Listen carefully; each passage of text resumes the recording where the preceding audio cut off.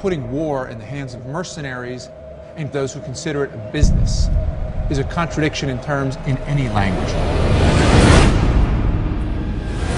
Sky people are gonna come. This is 30 or 40 billion dollars annually. I'm worried about the future of the human race. For my brother. Now, you really think they're going to forfeit all that?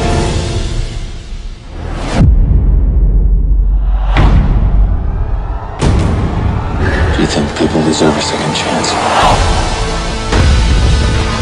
I can't leave you. This is not a war, this is an extermination.